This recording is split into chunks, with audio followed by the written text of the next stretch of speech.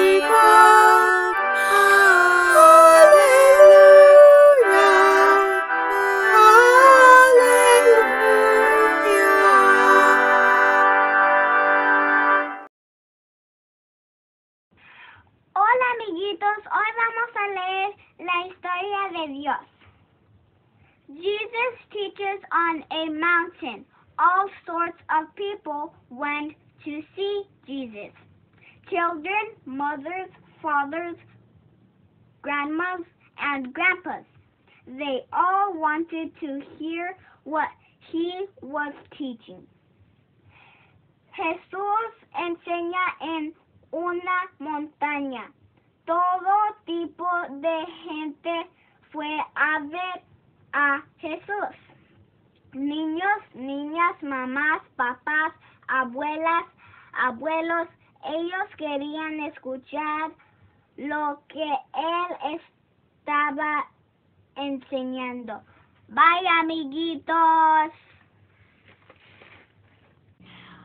Soy yo otra vez. Ese es mi altar. Hoy es Día de los Muertos. ¿Qué te parece? Um, bye, amiguitos.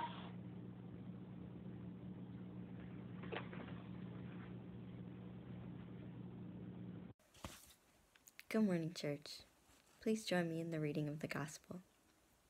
We'll be reading from Matthew chapter 5, verses 1 through 12. Now, when Jesus saw the crowds, he went up on a mountainside and sat down. His disciples came to him, and he began to teach them. He said, Blessed are the poor in spirit, for theirs is the kingdom of heaven. Blessed are those who mourn, for they will be comforted.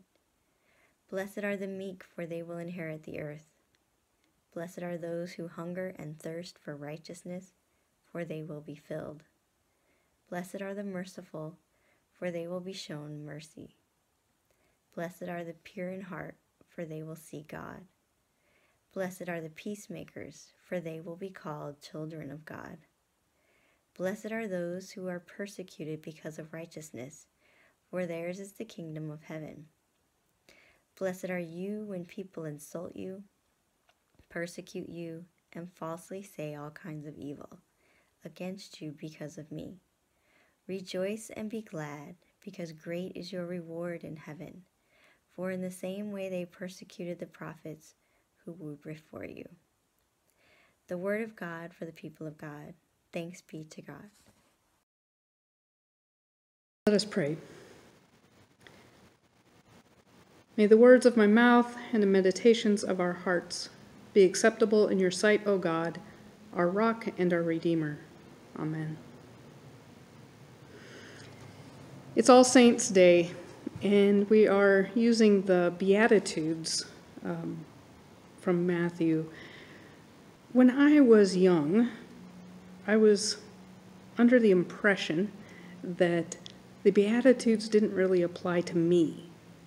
Um, it referred to the people that Jesus was talking to in his time. Uh, but we were in a different place now, in a different age, and so it didn't really apply to us the same way. As I have gotten older and realized that the reason for that, the reason I was taught that, whether it was overtly or in subtle ways, is that the Beatitudes go against the dominant white American culture of prosperity. And so when we look at this and think, what does it mean that Jesus says, Blessed are the poor? Blessed are those who mourn. Blessed are those who are hungry and thirsty for righteousness. And we know that righteousness can be um, translated or interchanged with justice. Those who thirst for justice. Those, blessed are those who are merciful. Blessed are the pure in heart. Blessed are the peacemakers. Blessed are you who are persecuted for righteousness' sake. If you're persecuted for being just, we have to think on a day of all saints who are those people that have gone on into eternity who stood for these values? the values of justice and mercy and peace. People who could humble themselves. People who could stand up to the oppressors, willing to be persecuted for justice. And in this time, I know on almost the eve of our national election, many of us are worried. Many of us are uncertain of what will come. And many of us feel quite strongly which side we want to be on. But the peacemakers stand in the gap. Justice stands in the gap. It's not one side winning over the other side, but it's listening to God and finding our way forward in the way of Jesus, not in the way of one political party over another. This week, I received a message from someone I met this summer. Uh, well, actually, the sister of someone I met. Uh, there was a woman who was in the shelter uh, at the church this summer. And she came to me when I came through the church one afternoon and asked if she could pray in the sanctuary. And the staff were not letting people come into the sanctuary unattended. Um, and they said they had to ask me. And so she did. And so I accompanied her into the sanctuary. She uh, had rituals that she followed uh, when she crossed the threshold into the sanctuary. She removed her shoes. She walked up um, towards the front. Uh, she kneeled and she bowed and she said her prayers. She was a originally a refugee from Eritrea and her family had fled. Her father had uh, fought as a rebel in the Civil War in the late 70s, early 80s, and their family fled to Sudan. They were Christian, uh, Orthodox Christians from Eritrea, and were not necessarily welcome in the Sudan that was mostly Muslim. And so they applied for asylum in the US and Germany, and their family was given papers to come to the United States. And so they settled in the central district of Seattle. I learned that the trauma uh, that she suffered haunted her in ways that caused her to um, become an alcoholic, and she fought that most of her adult life. But she did incredible work in the community. She was an organizer. She opened a restaurant, and it was called Hidmo. And Hidmo, in their uh, Eritrean language, means home. And so her restaurant became a home in the Central District for the youth and young adults of all ages she did incredible outreach in the schools um, to mentor East African youth who are resettling in, in the United States. She is someone I think of when I think of the Beatitudes of a peacemaker. She was telling the story of when the Central District began to, uh, to become gentrified. Uh, lots of new people were moving into the Central District, a lot of white people who had not uh, lived in the Central District were coming there, and because of the activity at her restaurant, a lot of people coming and going. It was open um, into the evening for music and art, and they did a lot of spoken word. Um, so the neighbors, the white neighbors, were concerned and felt threatened by this activity that was going on at her restaurant and contacted the police. So the community service officer showed up at her restaurant, and it's ironic that she's trying to create a home away from home for East African youth. And that felt threatening to the white um, neighbors moving into the area. And so, as a community organizer that she was, she invited them to an open house. And they introduced them to what was actually going on in the restaurant. And then, as a group, committed to having regular monthly neighborhood meetings to discuss topics and issues that were of concern for the neighborhood. And so, as a true, humble peacemaker, someone who stood for justice for her community, um, found a way to build a bridge and to draw in the very people that were afraid of her people and the restaurant and the activity of music and um, community that they were experiencing that, in that place.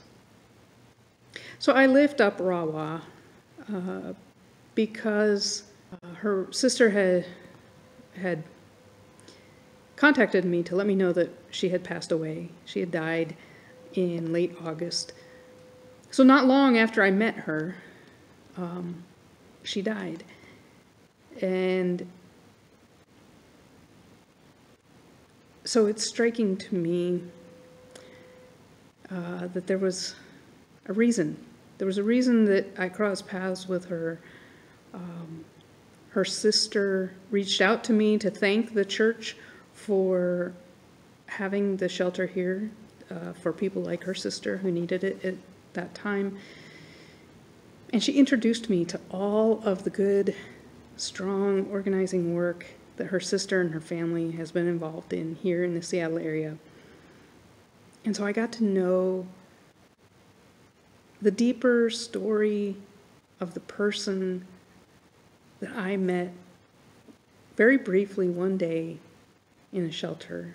And I would never have understood the depth of her struggle and what she lived with and what she was able to overcome and do in the community in spite of it all. And it, it adds to what I feel we are being drawn to as a church community, that we are being shown what mental health needs there are in our community. And it's not just one particular cultural group or ethnic group. It's not um, an issue of the homeless. Mental health often leads to homelessness. Uh, it's not the homeless who experience mental illness, um, but it is a cause sometimes of homelessness. As we ponder what's happening with this pandemic and where we are in our world right now, what's happening um, to our country, our elections just days away, most of us are feeling some sense of anxiety or stress, fear, possibly anger, and we are the very people that Jesus is talking to in the Beatitudes. And it reminds us not that we have to be poor or not that we have to be something that we are not, but we should strive towards the values of peacemaking, being humble. Meekness is humility. Uh, we can strive to be merciful. We can mourn and not have to put on a strong front and pretend that we're just fine.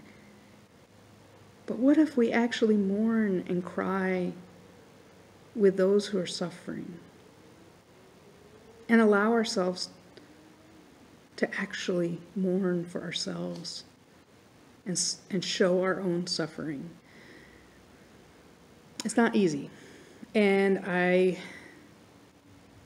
know that um, in this time, many of us are feeling it.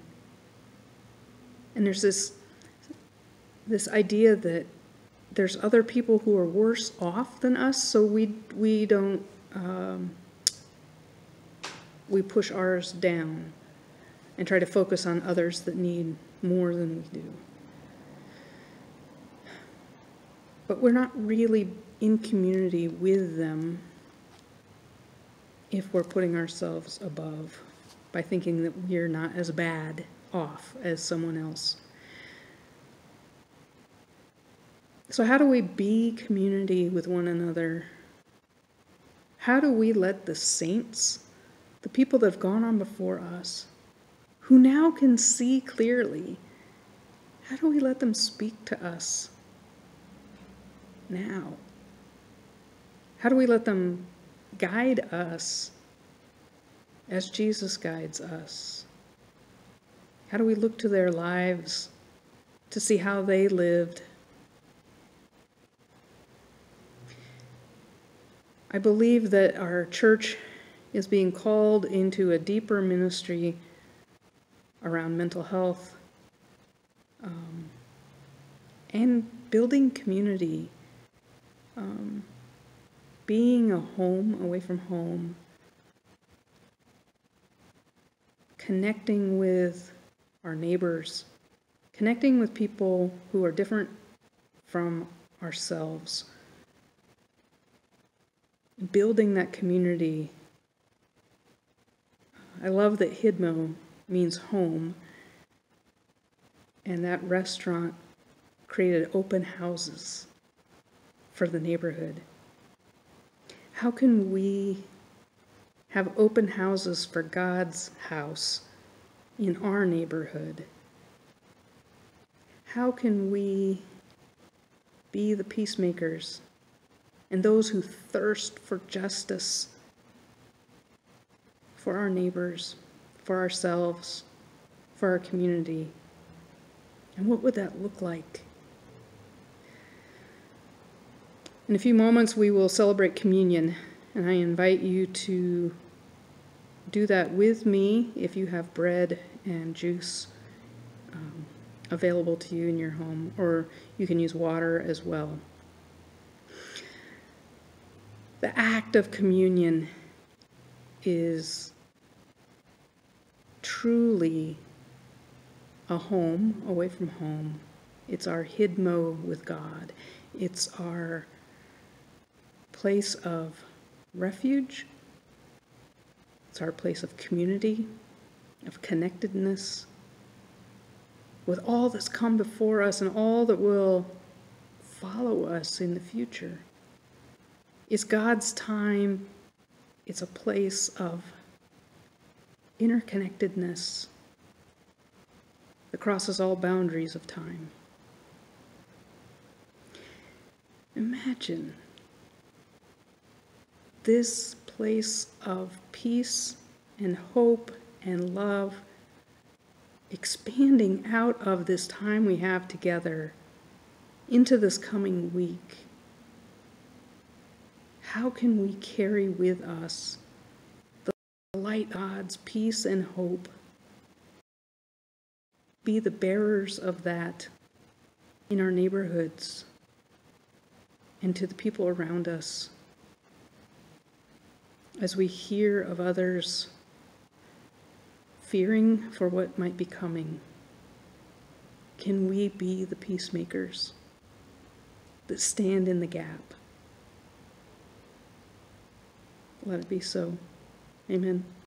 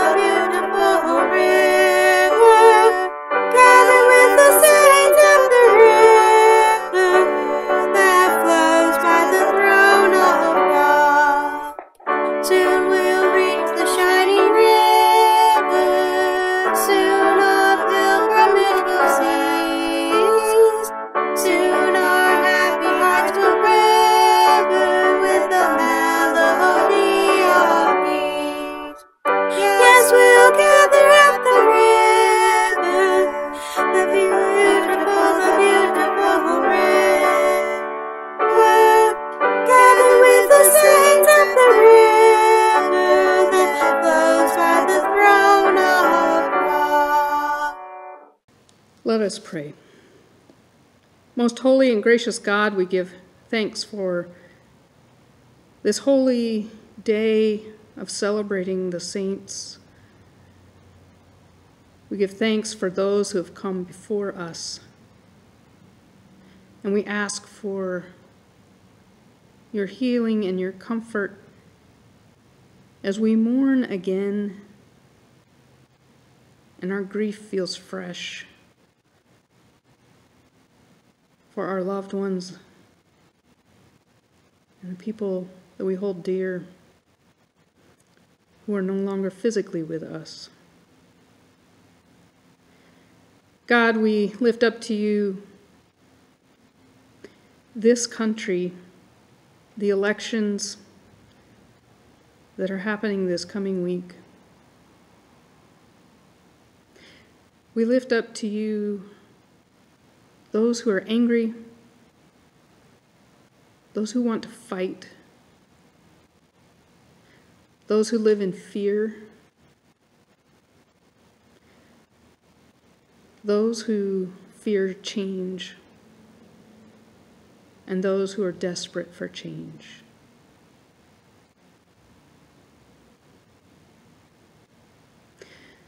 We lay them all in front of you, O God and ask for the courage to be your ambassadors of peace.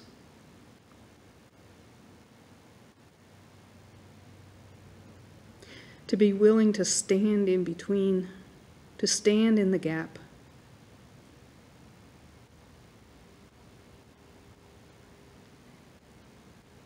Help us be your voice of love, compassion, mercy, comfort, peace, patience, gentleness, generosity.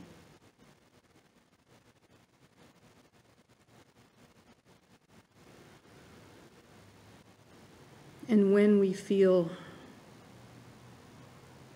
the pressure rising within us Remind us to let it go, to take time to be with you, O God, that we can return to the place of being the peacemakers. All this we ask in the name of the Christ. Amen.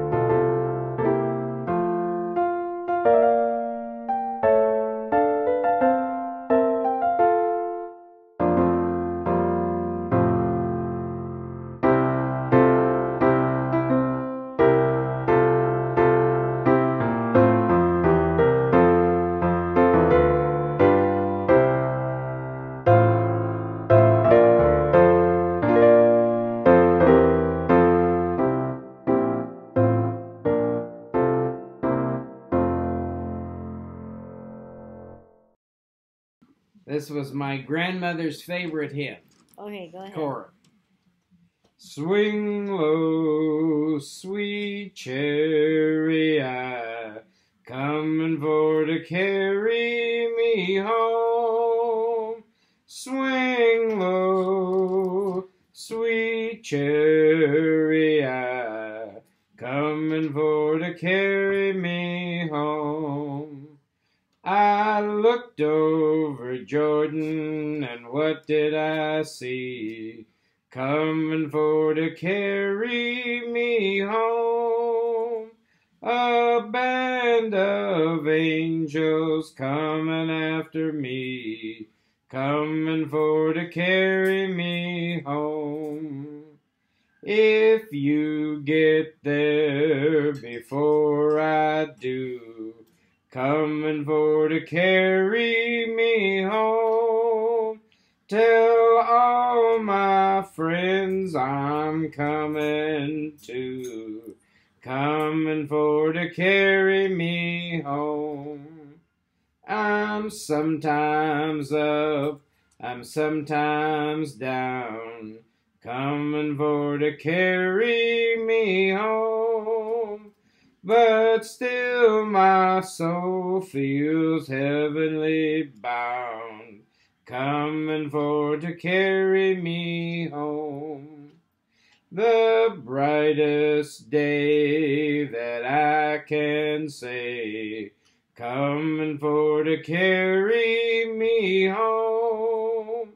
When Jesus washed my sins away, coming for to carry me home. Swing low, sweet chariot, coming for to carry me home. Swing low, sweet chariot,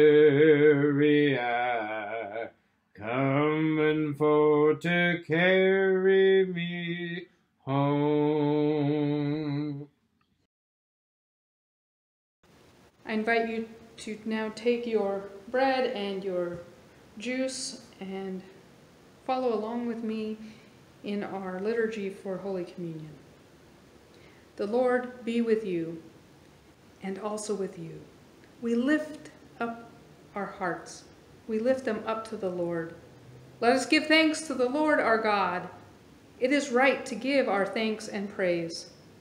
It is right and a good and joyful thing, always and everywhere, to give thanks to you, Almighty God, creator of heaven and earth, God of Abraham and Sarah, God of Miriam and Moses, God of Joshua and Deborah, God of Ruth and David, God of the priests and the prophets, God of Mary and Joseph, God of the apostles and the martyrs, God of our mothers and fathers, God of our children to all generations.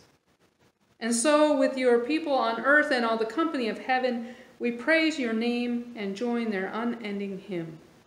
Holy, holy, holy Lord, God of power and might, Heaven and earth are full of your glory. Hosanna in the highest. Blessed is he who comes in the name of the Lord. Hosanna in the highest. Holy are you, and blessed is your Son, Jesus Christ. By the baptism of his suffering, death, and resurrection, you gave birth to your church, delivered us from slavery to sin and death, and made with us a new covenant by water and the Spirit. On the night in which he gave himself up for us, he took bread, gave thanks to you, broke the bread, gave it to his disciples, and said, Take, eat. This is my body given for you. Do this in remembrance of me. When the supper was over, he took the cup, gave thanks to you, gave it to his disciples, and said, Drink from this, all of you. This is my blood of the new covenant, poured out for you and for many for the forgiveness of sins. Do this as often as you drink it in remembrance of me. And so, in remembrance of these, your mighty acts in Jesus Christ, we offer ourselves in praise and thanksgiving as a holy and living sacrifice in union with Christ's offering for us, as we proclaim the mystery of faith. Christ has died, Christ is risen, Christ will come again. Pour out your Holy Spirit on us gathered here and on these gifts of bread and wine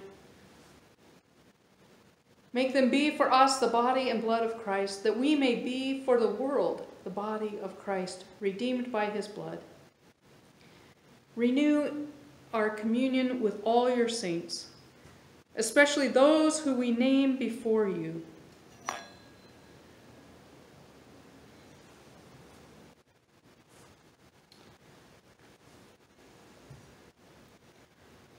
Monty Leffler. Carol Ayers. Rahwa Habte.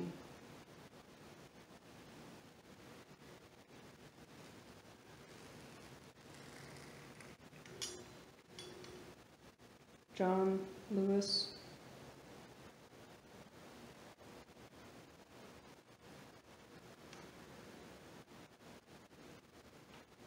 The many lives we lost to gun violence this year. For those unjustly killed.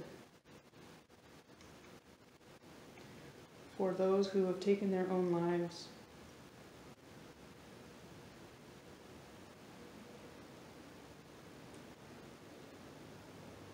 For the family that we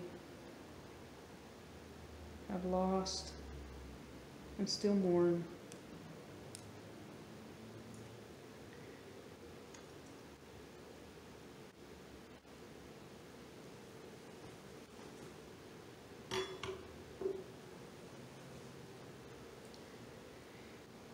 Since we are surrounded by so great a cloud of witnesses, strengthen us to run with perseverance the race that is set before us looking to Jesus, the pioneer and perfecter of our faith. By your Spirit, make us one with Christ, one with each other, one in ministry to all the world, until Christ comes in final victory and we feast at his heavenly banquet. Through your Son, Jesus Christ, with the Holy Spirit in your holy church, all honor and glory is yours, Almighty God, now and forever. Amen. And now we are bold to pray with the confidence of children our Lord's Prayer. Our Father, who art in heaven, hallowed be thy name. Thy kingdom come, thy will be done, on earth as it is in heaven. Give us this day our daily bread, and forgive us our trespasses as we forgive those who trespass against us Lead us not into temptation, but deliver us from evil. For thine is the kingdom, and the power, and the glory forever. Amen.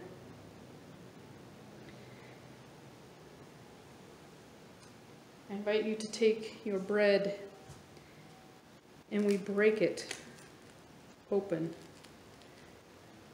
Because there's one loaf from which we all share.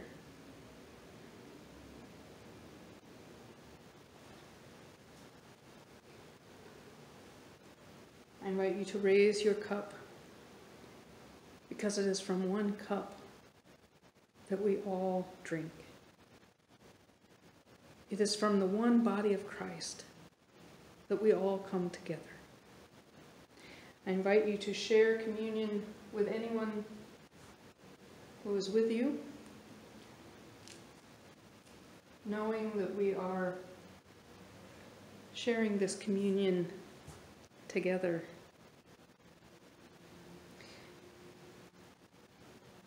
The body of Christ given for you, the cup of salvation given for you.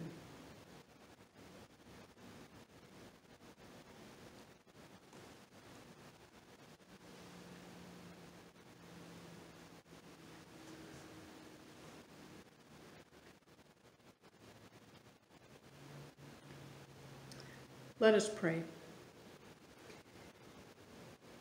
Eternal God, we give thanks for this holy mystery in which you have given yourself to us through your Son, Jesus Christ. Let it bless us, nourish us. Let it bring to life your love in us, that we may be your light and your hands and feet for the world, to be the just, the merciful, the peacemakers, the humble.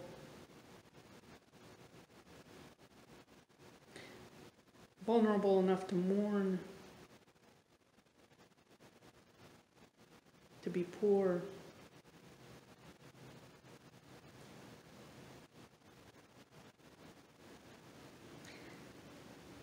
All this we ask in the name of the Christ. Amen. In the Methodist tradition, once we have consecrated the bread and juice, uh, we cannot waste it. It is holy. And so I invite you to eat all of the bread and drink all of the juice. If you're unable to do that, then we return it to the earth and to creation. So you can scatter the bread for the birds um, and the squirrels, and you can pour the juice into the earth.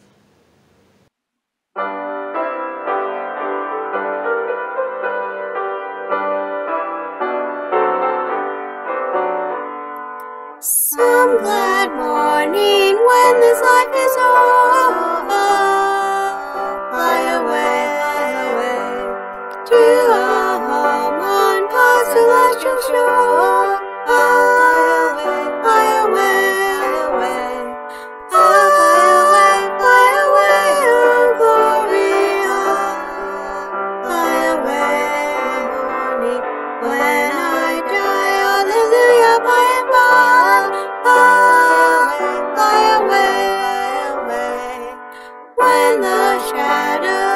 this life are gone.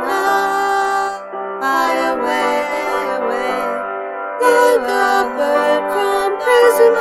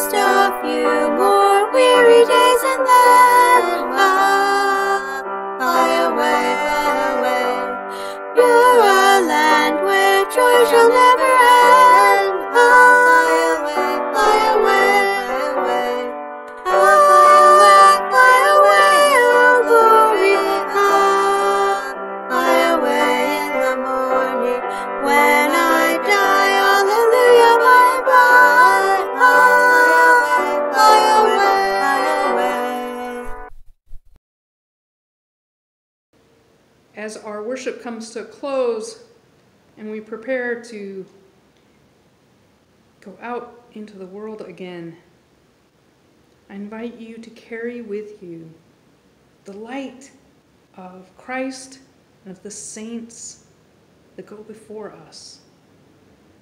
Remember that the cloud of witnesses are there in front of us, encouraging us on. They have walked in our shoes.